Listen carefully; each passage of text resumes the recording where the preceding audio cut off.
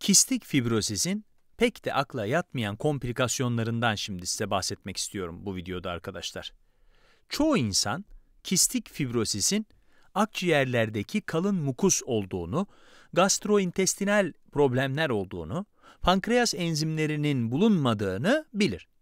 Ve bunlar önemli tipik komplikasyonlarıdır. Ancak buna ek olarak ortaya çıkabilecek ve akla ilk gelmeyen başka komplikasyonlar da vardır. Örneğin klor kanallarının çalışmaması. Size bunların üçünden bahsedeceğim ve kısırlıkla başlamak istiyorum. Bunun hemen hemen tüm kistik fibrozis hastalarında gözlemlenen bir komplikasyon olduğunu söylemek istiyorum.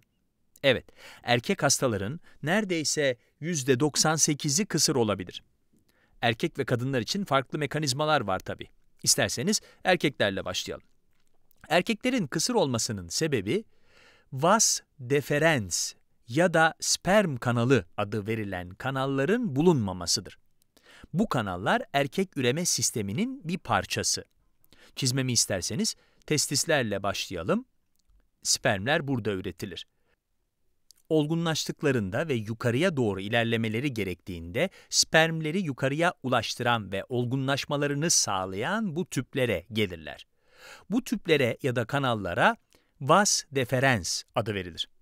Evet bu kanallar erkek kistik fibrozis hastalarının %98'inde yoktur. Bu duruma vas deferens agenezisi adı verilir.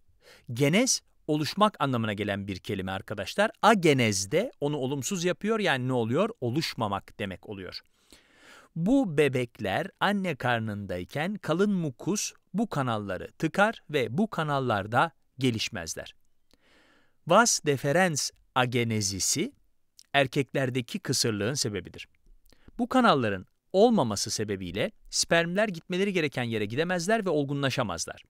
Başka bir deyişle sperm üretimi de olmaz. Kadınlarda ise durum tamamen farklıdır. Kadınların üreme sistemlerini hızlıca çizmem gerekirse şu şekilde çizelim. Bu rahim ağzı, burası da rahim. Bunlar da yumurtalıklar. Spermin yumurtayı döllemesi için rahim ağzından yukarıya çıkması gerekir. Ama kistik fibrozis yüzünden burada da bulunan kalın mukus spermlerin ilerlemesini engeller. Kadınların yumurta üretmesi ve kısır olmaması için beslenme de çok önemlidir.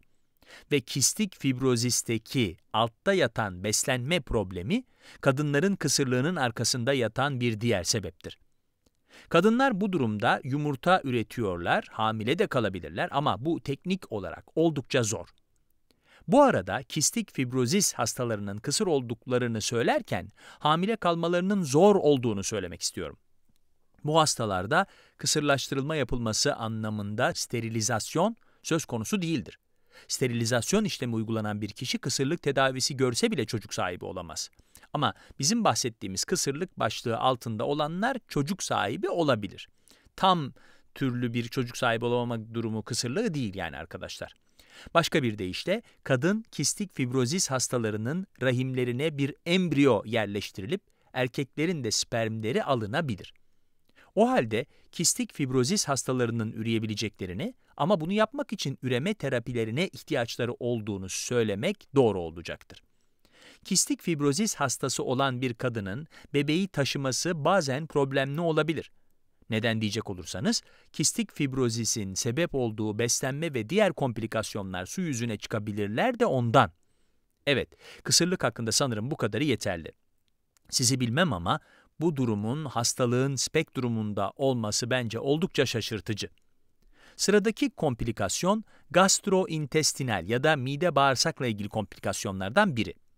Bu komplikasyonun adı intussusepsiyon.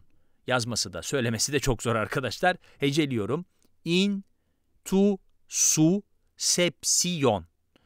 Bu arada bu komplikasyon kistik fibrozis hastası olmasına gerek olmadan genellikle bebeklerde ortaya çıkan bir komplikasyondur. Kistik fibrozis hastası olanlarsa genellikle ergenlik ya da çocukluk döneminde bu komplikasyonu yaşarlar. Bu komplikasyon bağırsaklarda ortaya çıkar ve sanırım en güzeli şu şekilde anlatmak olacak.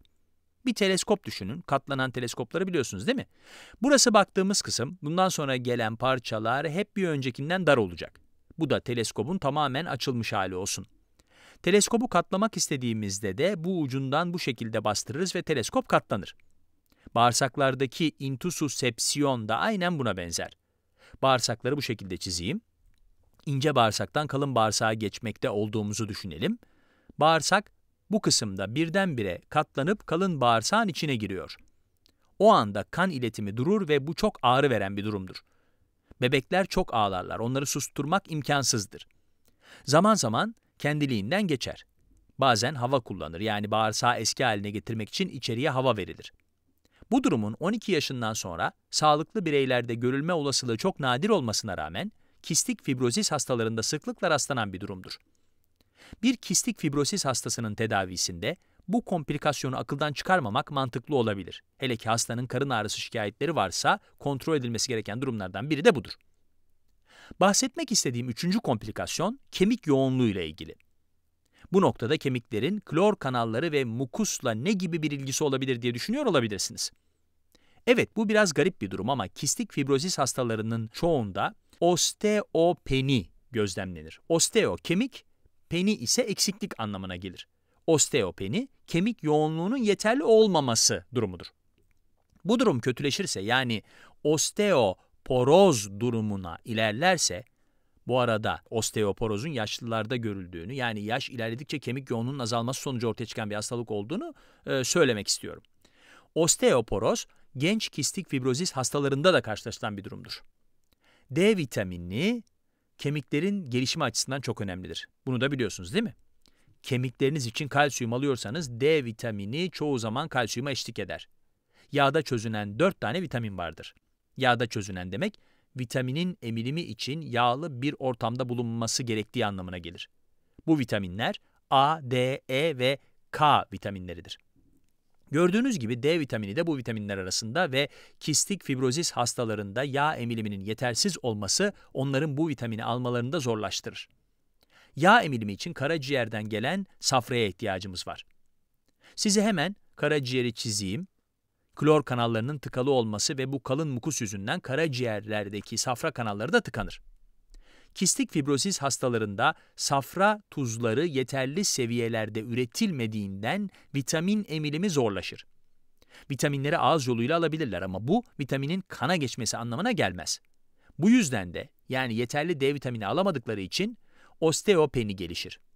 Bu değiştirebileceğimiz bir şey olmadığından kemik yoğunluğunu arttıran diğer şeyleri yapmak, mesela egzersiz yapmak son derece önemlidir. Özellikle de ağırlık egzersizleri ve dayanıklılığı arttıran egzersizler verilebilecek ek gıdalar da vardır. Evet, bu videoda size kistik fibrozisin ilk, bak ilk başlangıçta, ilk baktığımızda akla gelmeyen 3 farklı komplikasyonundan bahsettim. Bu arada kistik fibrozizin son derece agresif bir hastalık olduğuna ve vücudun hemen hemen her yerini etkilediğine de dikkat çekmek istiyorum.